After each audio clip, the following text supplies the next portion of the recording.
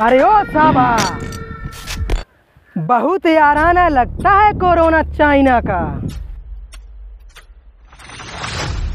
जी सरदार आजकल हर लड़की कोरोना का शिकार है। पता चला है ये बहुत तेज़ी से फैल रहा है।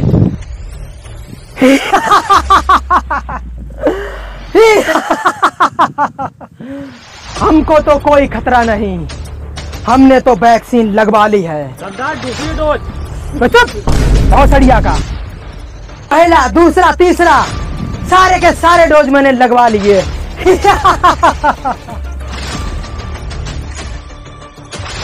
अरे ओ सांभा।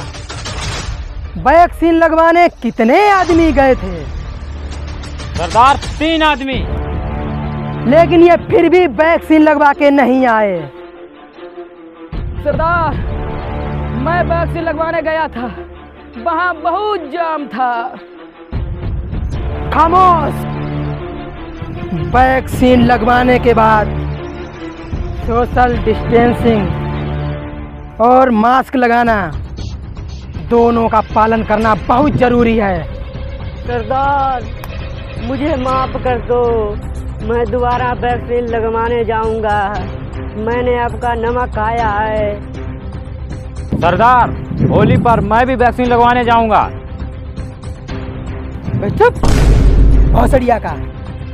होली पर क्या तू अपनी सेटिंग के साथ होली खेलने जाएगा? नहीं सरदार।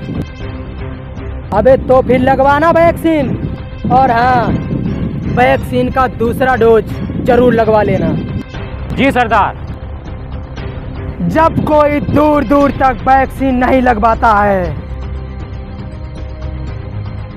तो लोग कहते हैं कि लगवा ले बेटा, नहीं तो गब्बर आ जाएगा।